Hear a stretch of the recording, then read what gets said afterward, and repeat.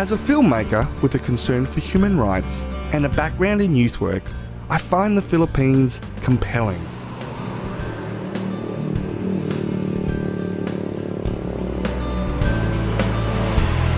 What confounds me about this country is that although it is rich with resources, for a majority of Filipinos, being rich is a distant dream.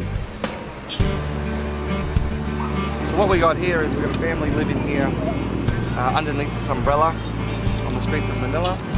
Their worldly possessions, uh, everything you see here and everything you see over there.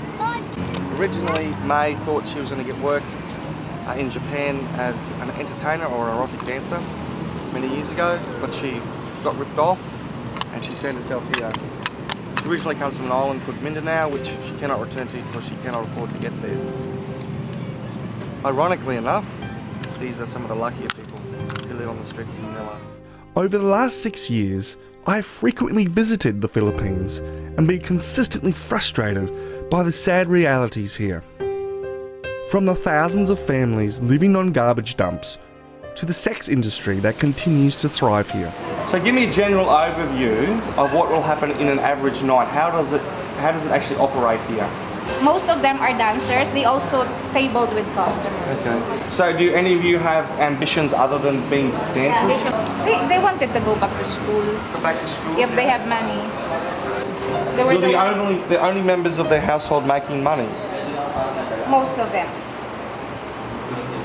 Wow. Those kids, I look like kids I used to teach religious instruction to in year seven. All they lacked was a little blue uniform. It's just, just beyond words, in my opinion anyway.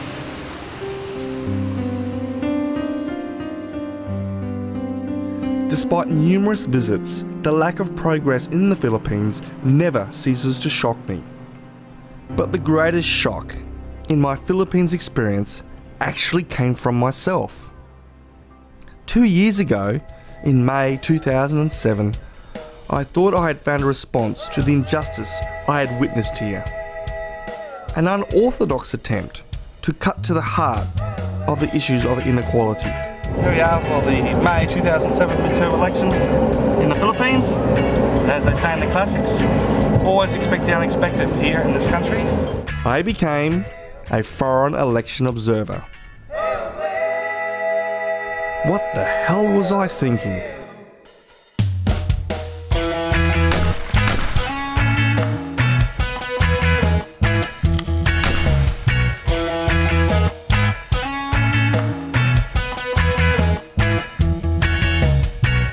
As political analysts gathered from around the world in Manila for the briefing, I became acutely aware that my makeshift cameraman Woody and myself were not really qualified as election observers.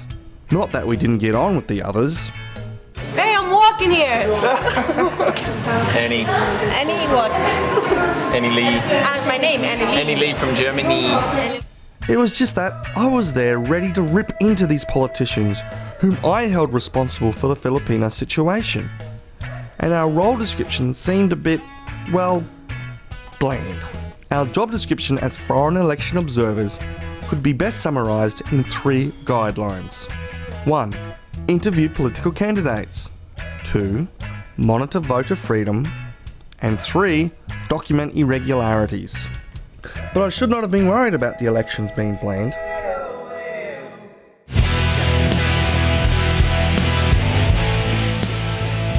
And this is made by, this one here is by churches. Like most people around the world, my knowledge of Filipino politics was limited to the military dictator Ferdinand Marcos, whose oppressive 20 year reign ended in 1986.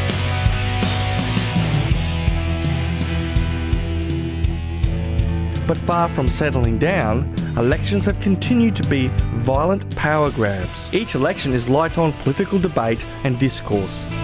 Instead, Filipinos will tell you that their elections consist of the three G's guns, goons, and gold. And whoever has the most of these are generally the winners. After three days of briefing in Manila, Woody and I were assigned a team and a province. Ours was the rural province of Nueva Ecija, and our team was therefore christened Team Nueva Ecija. Nueva Ecija. Good luck, boys.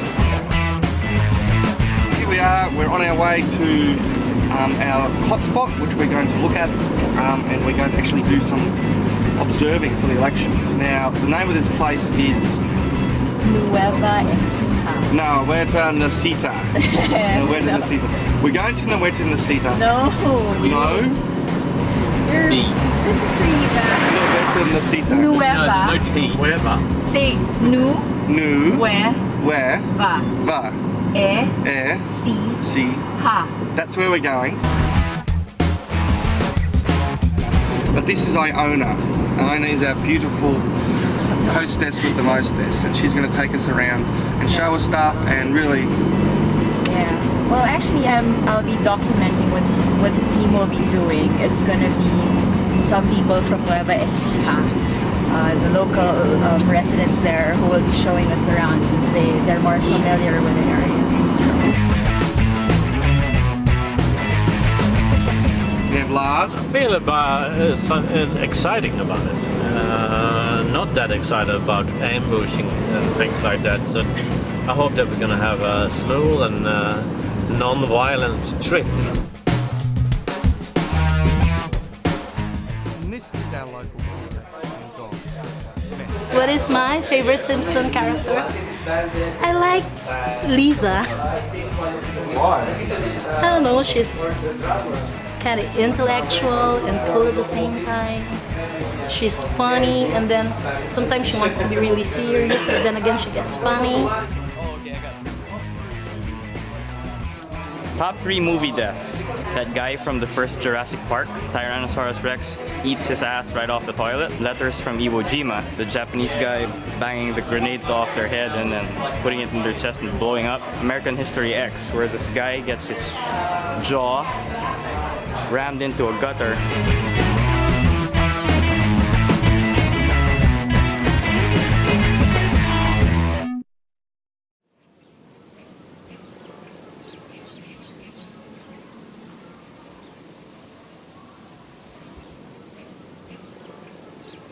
In the months leading up to the 2007 election, violent skirmishes resulted in us being sent to Nueva Ecija to oversee their election. Politics here is a dog eat dog world, and our first candidate, the incumbent mayor of Gapan City, was our first introduction to that world. We were welcomed at his house with barbed wire fences and bulletproof cars.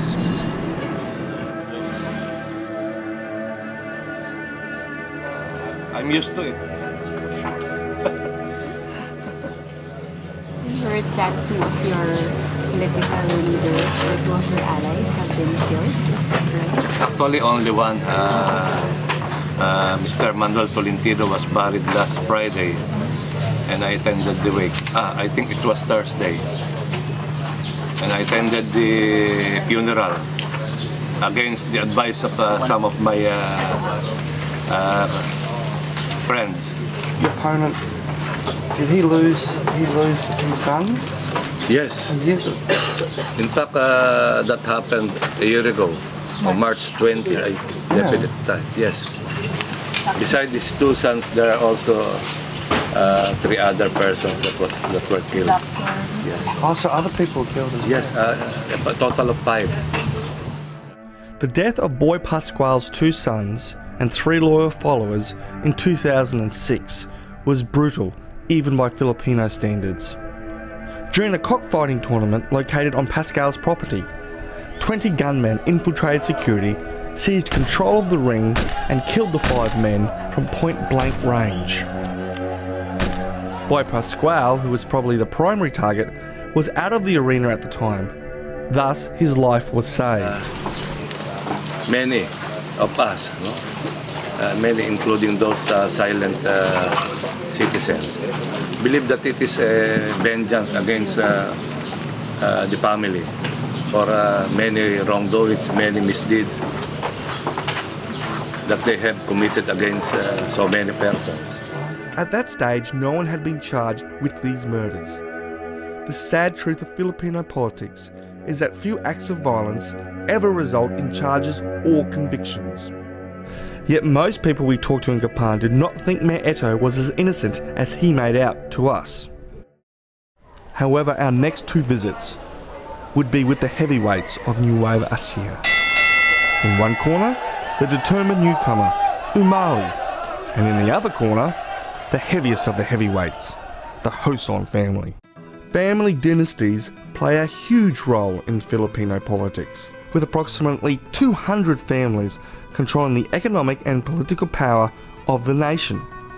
In Nueva Ecija, one family has reigned for 60 years, the Josons. The current patriarch of the Joson family is this man, Tommy Joson. Tommy welcomed us into his house, where family pride was evident, as were the four electrical fans, which we were just too scared to ask Tommy to turn off for the camera. Tommy's 15 year run was coming to an end, and he was stepping down for one of his brothers in this election. Incredibly, his term in office was interrupted in 1995 when his brothers and himself confronted a local mayor and his men in the streets of Nueva Ecija, and violence broke out. I got involved in a shooting incident, and my opponent got killed in the shooting incident. So I was tried for murder. Fortunately, I was able to get uh, decision favorable, favorable to us. So, but I won from my jail. I got the biggest margin in the history of politics in Nueva You won from jail? Yes, I, I ran when I was in jail. Yeah. And I won by the biggest margin. How, how are you able to do that? Well, it was my kids who campaigned for me.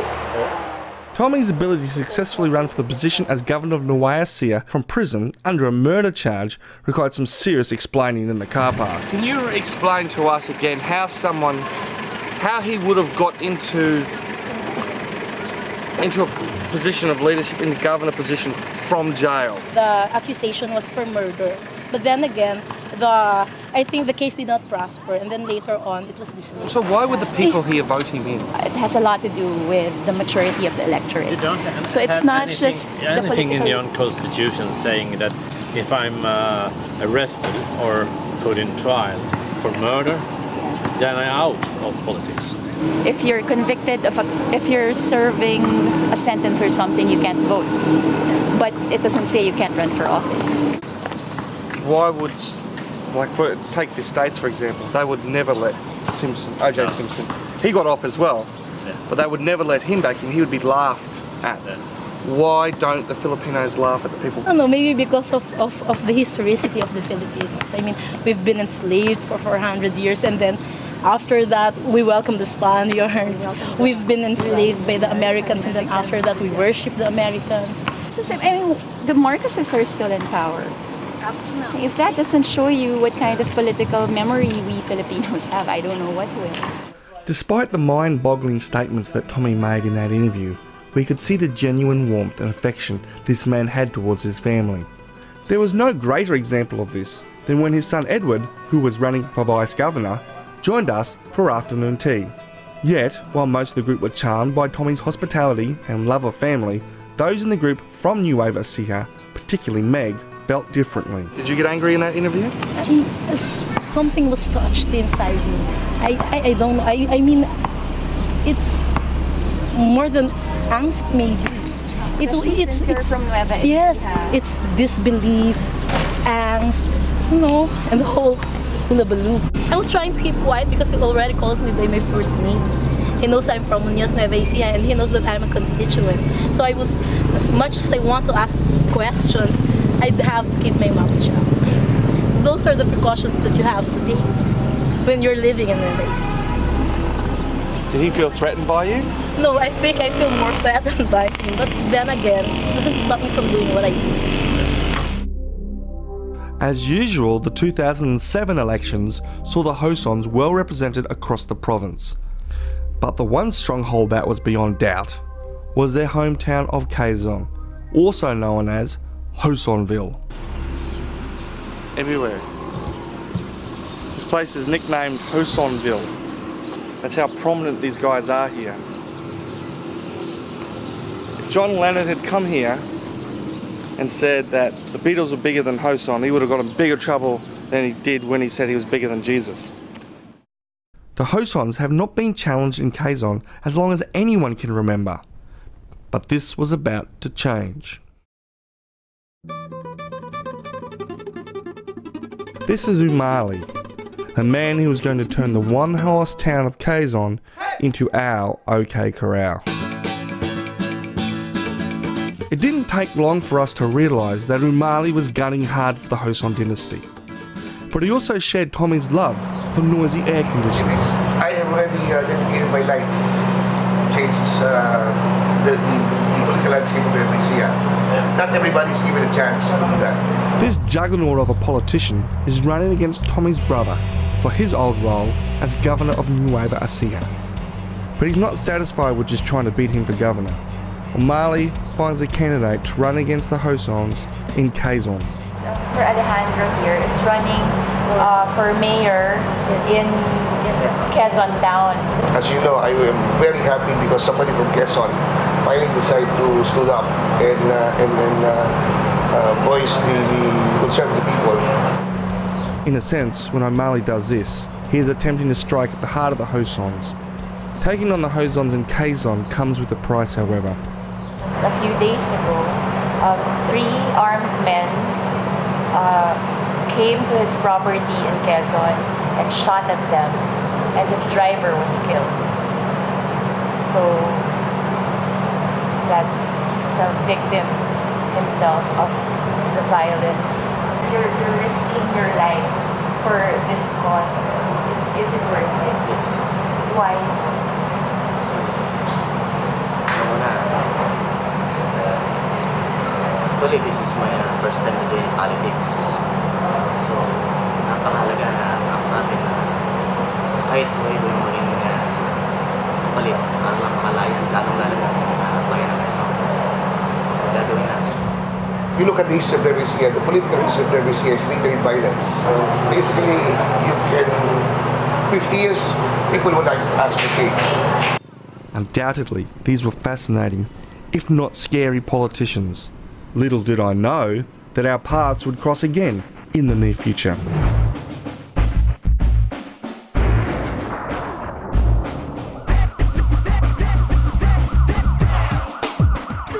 The violence prior to the 2007 election caused not just our arrival to Nueva Ecija, but the Filipino Electoral Commission sent in the military as well. I think we have recorded about 10 incidents, all election related violent incidents, wherein uh, some fatalities were reported, killed were reported. Actually, I'm praying that nothing will happen more. because uh, this is the reason why the province of Nueva Ecija was placed under Comelec control because of some incidents uh, since the start of the campaign period. So this morning we talked up, I discussed the deployment during the election day, how we will secure the different, the 737 polling centers, and how we will respond immediately without delay to any occurrences. So it appears that all systems go, and as I've said, I hope nothing more will happen uh, unfavorable. So you and uh, you got me with this uniform. I'm always on alert. I, I sleep with my boss on. Coming from outside of Nueva Ecija was supposed to ensure that the military had no bias in overseeing the election.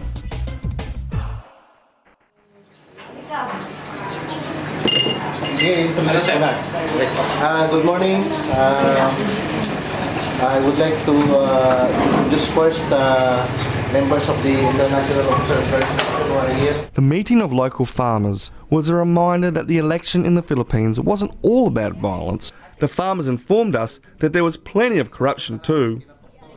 It was incredible to hear all the means the politicians used to purchase votes. Uh, they give uh, half sack of rice, immunization of children. Uh, some are giving 500 pesos. They distribute water pumps and toilet bowls. Free gasoline, 150 pesos. Bags of groceries and 100 pesos. Uh, 1,000 pesos just not to vote. Uh, the, the local economy is booming every election. yeah, that's right. ward leaders actually have a list of people uh, who were given money for their votes. If you don't comply in the arrangement, uh, there is a tendency that they will come back to you later. Suddenly I woke to the commitment the Filipinos had to democracy. In Australia, we sometimes take elections for granted, but in the Philippines, people from all walks of life get on board. Alright, we've come up here to a Catholic church and the Catholic Church has organised a whole heap of, of people to become poll watchers, that is to watch and monitor the whole uh, counting process. Now I've got two guys here with me. This year I decide I decided to take part in in a in a different kind of service and that is to to watch and to guard our votes. We want a clean election. You see it's, it's different here in the Philippines. Do you trust the process? Do you trust the process in the past? No. It's a very difficult question. But for me, no, I cannot trust the, the election uh, system here in the Philippines. I would like to trust the system. I would like to trust the process. But obviously, because I said I would like to, there is doubt in me somehow. I am still an idealist and I do hope that somehow, because there are citizens out there who are willing to help, I hope that the system would work Years of dictatorship under Marcos had taught Filipinos that the highest ideal democracy offered, a voice for every person whatever their status, was really worth fighting for. I believed because they believed, and I knew we had a part to play. But it didn't take long for reality to come crashing down. Eh, sako ho ng pera nakuha eh. Sako. Kanino ho galing yung 600 something thousand? We're on. We've just been informed that there has been a shootout. That's what we are going to between two political parties. It's in progress. So we are now approaching rather cautiously to see what's happening.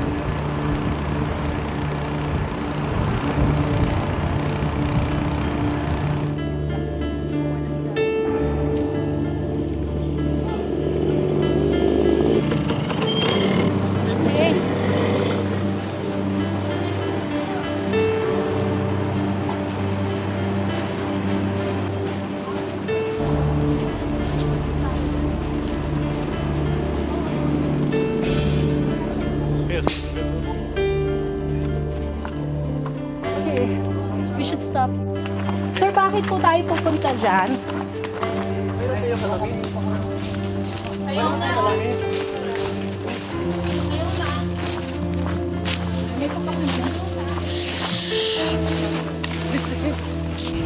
Off the books, it was uh, vote buying. And they were able to get the, uh, some of the soldiers called us.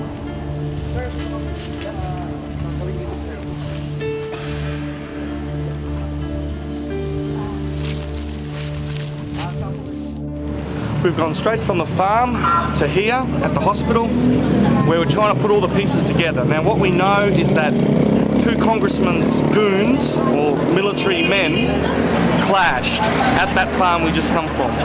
And the upshot as it was is that the police came rather aggressively after receiving a phone call and what they found was two injured people who were shot. They found 600,000 pesos and they found some illegal firearms.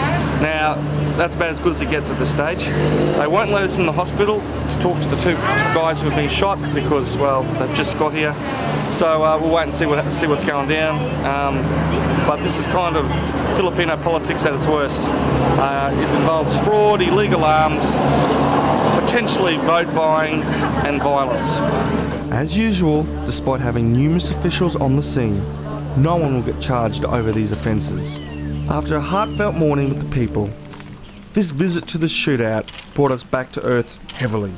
Who knew what tomorrow's election was going to bring?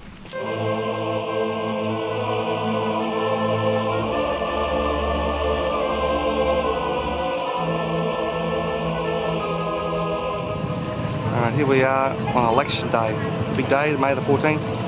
Here we are outside the booths where all the Filipinos turning up to vote. Quite a few people here and it's very, very hot.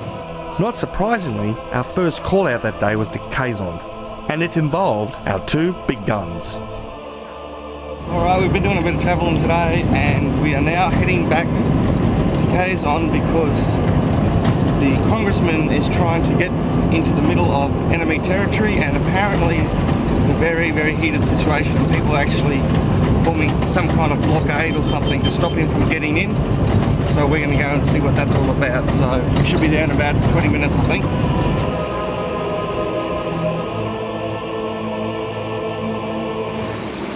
Okay, so we're just outside Quezon now, um, and looks like the situation between Umali and the people of this town has been diffused. What we understand at this point, without any clear facts, is that um, people created a human blockade in front of the Umali camp and then created another one behind them, essentially trapping them in. Um, and uh, apparently there are lots of threats, there are lots of uh, waving of guns perhaps, we're not sure and apparently they had the Josons on the phone. All they needed was the word, and they could have it could have ended it right there and then. Nothing like that happened. They they got away. That's what we're hearing at the moment. May be true, may not be true. Um, we'll see what we can find out as time goes by. Umali wasn't finished with Quezon or us quite yet. We decided to go to our other area of concern, Gapan, see how Eto and Pasquale were behaving. But uh, so far today, it's, it's, we've probably got a couple hours before the polls finish. And uh, by the looks of things, everything looks all right to me. There's been uh, that isolated incident down in Quezon, and uh, that's about it. But it should really heat up when they close, because that's when everyone's going to start trying to fix the election. That's when everyone's going to try to cheat, grab the ballot boxes, etc. So we'll see how we go when that happens but I don't think any of these candidates have an environmental platform. Imagine.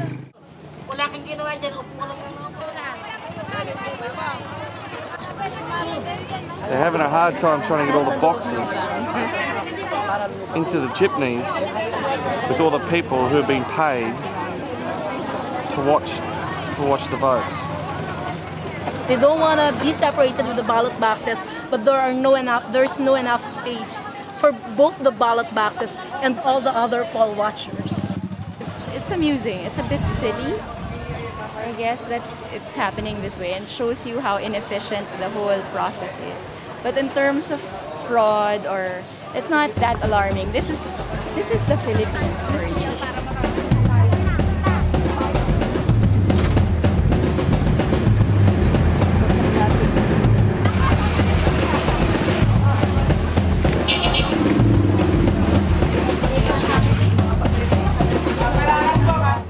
chaotic but above board. Since the morning's human blockades, our two rival parties had behaved themselves throughout the afternoon. But as night fell and the counting began, the texts, phone calls, and word of mouth started to reach us. The games had just begun, and again, the focus was on Quezon. We retreated to a local service station to discuss. Uh, here's the latest update. Uh, according to the, there are countings happening in the northern part of the Nueva Ecija. The trend is that Umali and Taruk are winning. Now Schubert is saying that you shouldn't go to Quezon because they'd kill for Quezon because that might be the only place where they will win. Something's happening in Quezon. There are men in bonnets there. See? Okay, so that is very, very scary for us because when men are wearing bonnets, they tend to do something real bad. With rumours circulating that Joson supporters were terrorising Quezon vote counters, we were stuck with a dilemma. Go to Quezon? Not go to Quezon? Or Woody's left field suggestion, which was ring Tommy Joson and tell him we were going to Quezon without ever intending to. What everyone's been saying for the last four days, that's, oh, violence is going to stop because we're around. Well, maybe if he thinks we're around, then, you know, it's just maybe playing a card without actually playing a card. Okay, calling the bluff on PASA. Uh, this is really, I mean, they, they, they've been politicians for 50 years. They're good strategists. They know everything in and out of politics. They know when it's a bluff, when it's not. I, I think that's something that we're all considering. We face the alternative of doing nothing. What if we call the police, just ask them that we're hearing reports about what's going on in Quezon? Yes. I think that would be a better idea. And then if it doesn't work out, maybe we could do I, I, I want to try. I want to that we use both the all the channels now. So, where do we go? Let's go to the police station and verify what we've been hearing around.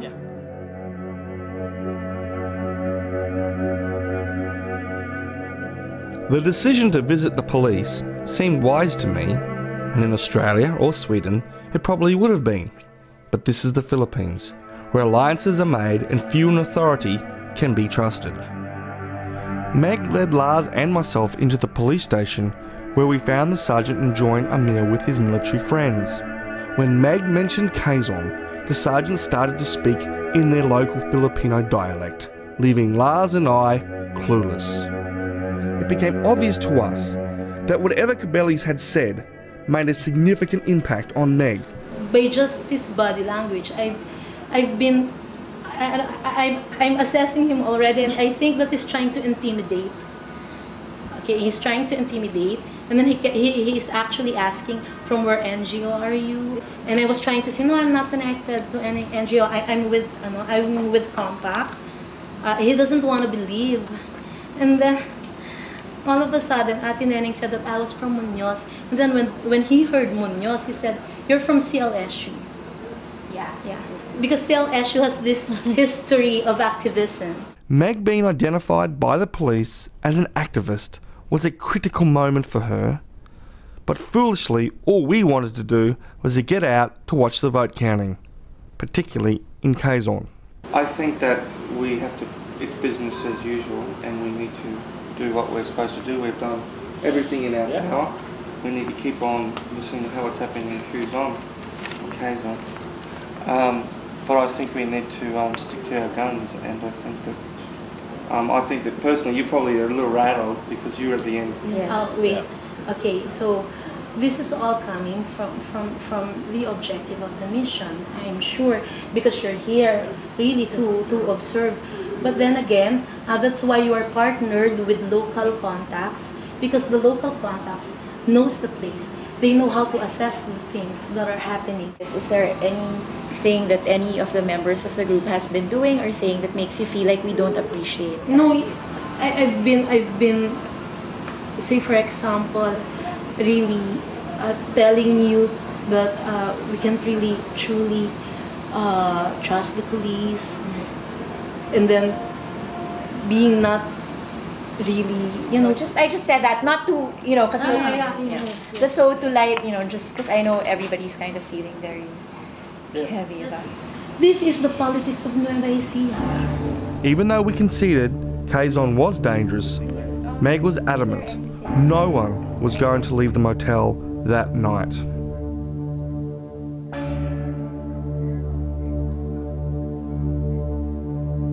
If only I knew then what I know now, particularly about the issue that upset Meg the most being identified by the police as an activist. He said, You're from CLSU. Yes. Because CLSU has this history of activism. This is CLSU, the university in Muñoz, where as a student many years ago, Meg got involved in political activism. While many people worldwide have their first taste of political activism as university students, most don't end up like this. Since 2001, there has been a surge in executions of unarmed political activists, union officials, journalists, and even religious ministers throughout the Philippines, including in Nueva Ecija. Most of us priests are receiving death threats. In fact, my former assi- my former assistant had received heavy, heavy death threats. So we need to pull him out from this place. Some have put the number as high as 900 murders. Who do human rights groups hold responsible? The very people who were there to protect the people of Nueva Ecija during the elections. The military. What we failed to recognise was that the Philippines was a dangerous country for people like Meg all the time. Even after we foreign election observers had left.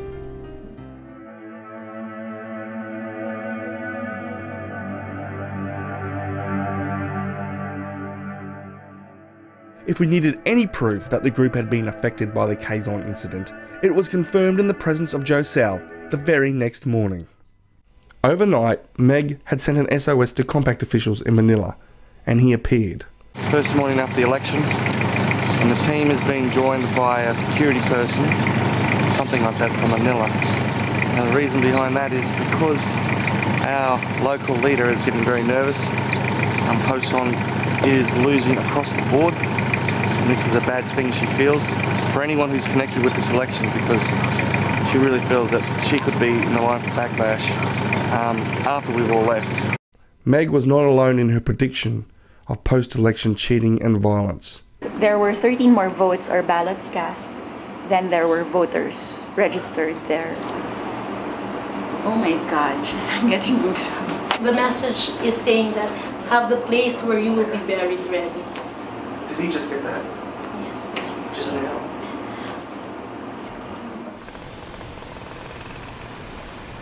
May foreign observers ba doon ngayon? And then the situation went from bad to worse. We're receiving text messages right now which say that according to bulatlat.com, that's a news, you know, it's a news website. Um, there are reports that there are around 500 people who are mobilizing in Guimba.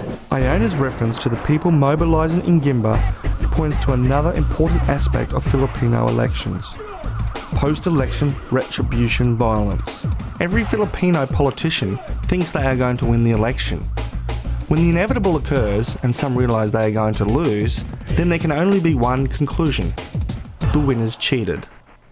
Now, the best way to deal with cheating is to send your supporters onto the streets for a good old fashioned riot. The rising retribution violence was now becoming very real for the team and added another layer of tension to the group. In response to this development, Josel brought us back to the motel for the latest word from Manila.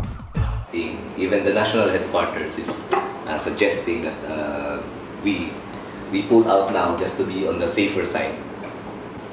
The retribution that the people are that the people that we talked to this afternoon were talking about is already happening.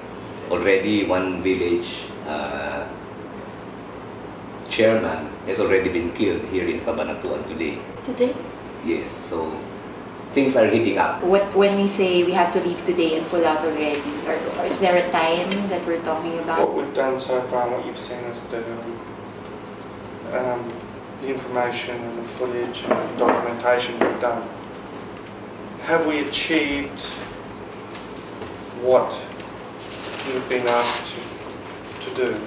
Have we done what's expected of us? Yeah, we have, we have enough uh, material and ex experience and also insights to, uh, to accomplish what we came here for. We felt exactly the same as we did on election night, except this time we were leaving.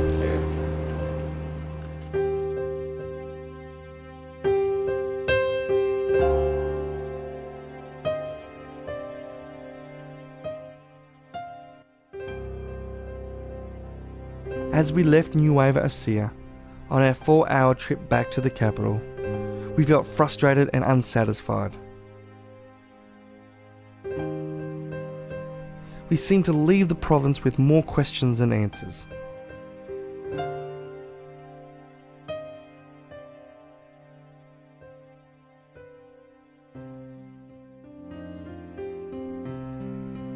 Several months uh, since we've been the Philippines in Nueva Ecija, and I'm here just catching up on the latest results on the internet. And um, in Nueva Ecija, there's already been a couple of deaths, strangely enough, at a cockfighting ring. Um, and there's been even more deaths across the Philippines uh, connected to the elections. What I'm really looking for and trying to find out is what's happened to our friends, um, those in Nueva Ecija and those who are not. Um, I can talk quite freely and often to Iona and Wacky on MSN, but I cannot get any communication with Meg. And uh, that worries me a little bit. I don't know whether she doesn't want to talk to us or whether something's happened. Um, but I, I, I hope to find out in time what's happened to her. I'm not sure whether I'll be able to find out here in Australia, however, by the sounds of things.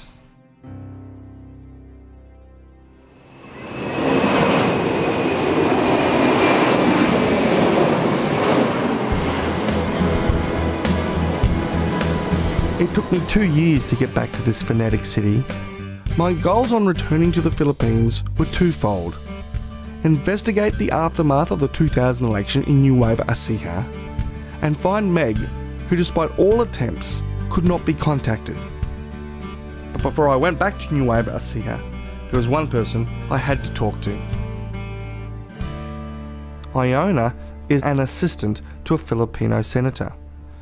But there has been more going on in her life than just politics. Well, basically, I'm a mother now, as you know. I have a little 10 month old baby girl. And that's, you know, that's a major thing for anyone parenthood, motherhood. Unfortunately, though, political violence did not cease for Iona when she left Nueva Ecija.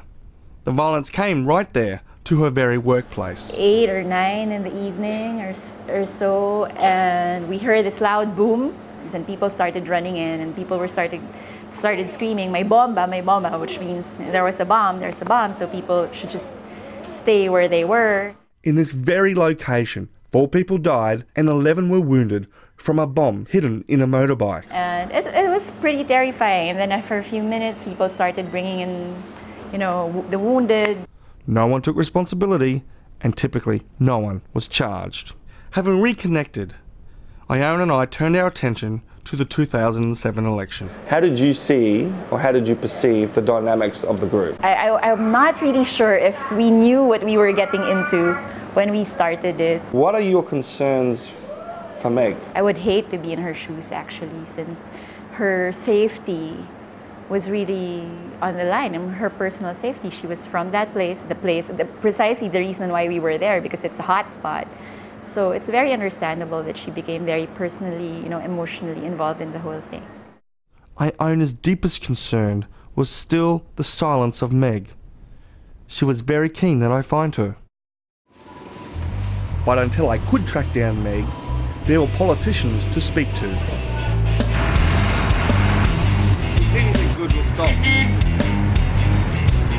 Since we were last in Nueva Ecija, Eto Natividad reclaimed his mayoral position for a third consecutive time over his rival, the grieving boy Pascual. But early in 2009, it seemed Pascual could get the last laugh when, in an unprecedented development, Eto was charged for masterminding the killing of Pascual's sons in 2006. In the heavyweight division, Umali was indeed successful in beating Josons in the race for governor of Nueva Ecija, the first to do so in 59 years.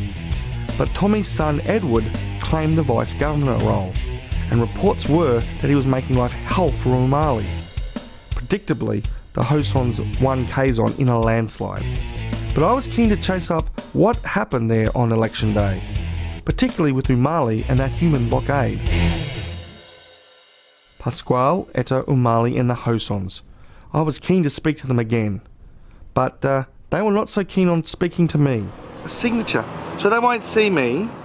These politicians won't see me unless there's a signature. The letter had my email address. It has my mobile phone, my home number, and my home address. That's not, that's not good enough. All right, no worries. I don't know what these guys are about, I really don't. I don't know, maybe cultural thing, maybe it's just cultural etiquette I haven't followed, but but success finally came with a meeting with the elusive Boy Pascual. Celebrations, however, were short lived. Boy Pascual was reluctant to speak on camera. So we showed him what Mayor Eto said about his son's murders and himself back when we interviewed him in 2007. Many of us, no? Uh, many including those uh, silent uh, citizens, believe that it is a vengeance against uh, uh, the family. He wasn't impressed to say the least. But instead of going to interview, Boy found us this lady, Mrs. Perez. Her husband worked side by side with Mayor Eto in Town Hall until 2004. That is when, according to Mrs. Perez, Eto had him killed. The, the, the, the day he come, he goes to the market with me to bring me to the stall. When he go, goes back, there he was ambushed. I go to the house of Eto. I talk to him. Pare has no money. Then why did you make him a, just a like like a lamp offered to, to you? He just answered nothing. Pale, face, no blood in any part of his body. How many people do you think have died due to Mayor Eto? Uh, he has killed, uh, uh, I think, more than a hundreds. He has made people suffered almost 80% of the people of Gapan. At present, the reason why I'm happy because he has got his punishment. It probably goes without saying that the Gapan election is going to be hotly contested in 2010, with rumours that things are already beginning to heat up. And fortunately for me, I met someone who knew someone who knows Vice Governor Edward Joson.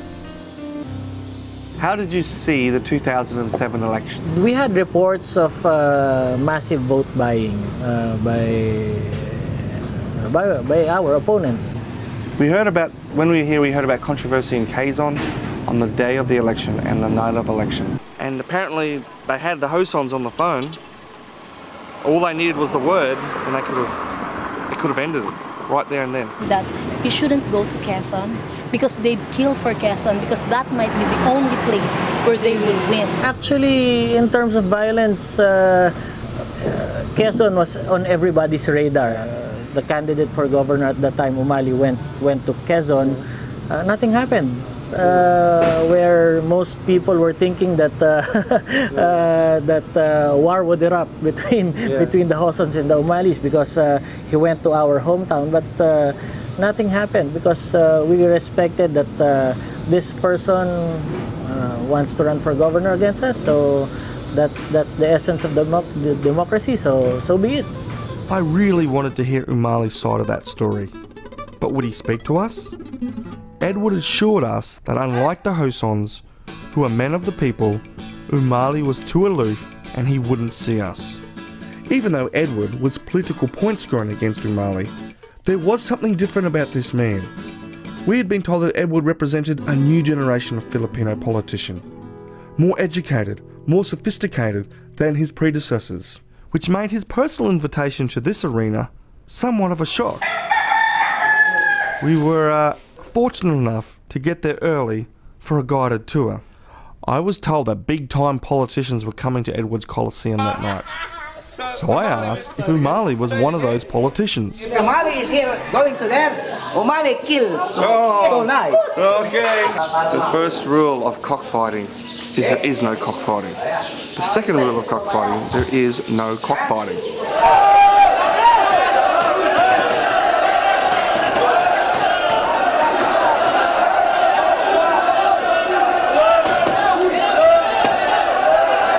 This arena explained to me so much about the dynamics of gaining political power in the Philippines. It revealed how through events like cockfighting and illegal betting rackets, families and candidates managed to raise money and loyalty from the people to maintain their small kingdom and their power. As for interviewing Umali, well, we might have to wait until the next election, when he wants to start campaigning again. But at the end of the day, there is but one person in Nueva Ecija I wanted to talk to. And I found her. Alright, so Meg, what have you been doing for the last two years? I've been living my life, just your normal average life. I'm actually studying now. Two years behind you now, since the election. What are your reflections of the 2007 experience? It was it was I was nervous at times, but I wanted to be part of the election ever since. I wanted to to play a role, not just to vote, but I wanted to be a part of it. There was that moment that night when you really felt that we were in danger and that you were really quite worried. Do you think you were justified in feeling what you were feeling? And do you think you were justified in the decisions you made? Honestly, uh, looking back at it, I, I think I I did. I did. We were really in danger at that time. Very few things give me fear, honestly. I'm not I'm not easily afraid of anything, but at that time, at that night, knowing the background of Philippine election, I honestly think, I, honest, I honestly believe that night that we were in danger. Has there been any consequences for you personally? I, I am more careful after election with what I say, with what I do, with where I go. It has given me something to think about. What is your dream for the people of the Philippines? I don't know, I'm somewhat of an idealist, eh, but my dream is that I hope someday people would feel responsible for the single vote that they cast during election. I, I hope that they see the vote, the single vote that they cast as the road to, to hope, to, to, to a better Philippines later on. That's what I hope. After seeing Meg and Iona and having such an interesting conversation with Eduardo, I began to feel okay about our role in the 2007 elections. As we flew away, I began thinking that maybe this country, the Philippines, was one step closer to finding its feet. But man, did I get that wrong. On the 28th of September 2009, Typhoon Ketsana hit the Philippines and in particular Metro Manila, dumping a month's rain in just six hours. The weak infrastructure was unable to deal with this onslaught. 468 people were reported dead. Many drowned, but others picked up waterborne diseases from rat urine penetrating the skin. Amongst this flood is the tragic story of Rosita Malati, whom we had met in the strip club. During the downpour, 18 year old Rosita gave birth to her baby, Rosie. After bleeding profusely, Rosita went to the hospital thanks to the fundraising efforts of her sisters. However, when the funds ran out, the treatment ceased, and Rosita's life succumbed to an infection. Not even Rosita knew who the father of her child was, except some client at the club. A malnourished Rosie now lives with her aunties and her grandmother in Manila.